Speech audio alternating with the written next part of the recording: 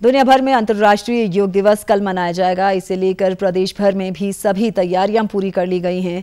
आज़ादी के अमृत महोत्सव के तहत इस बार देश के पचहत्तर प्रतिष्ठित स्थानों पर योग दिवस मनाया जा रहा है।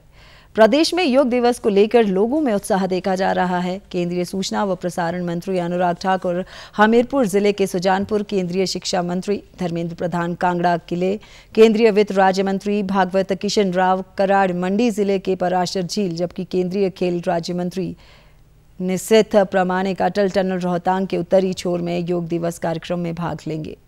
इधर राजधानी शिमला में मुख्य समारोह ऐतिहासिक रिच मैदान पर मुख्यमंत्री जयराम ठाकुर की अध्यक्षता में आयोजित किया जाएगा। शहरी विकास मंत्री सुरेश भारद्वाज भी इस दौरान मौजूद रहेंगे। प्रदेश के सभी जिलों में योग दिवस को लेकर कार्यक्रम आयोजित किए जाएँगे।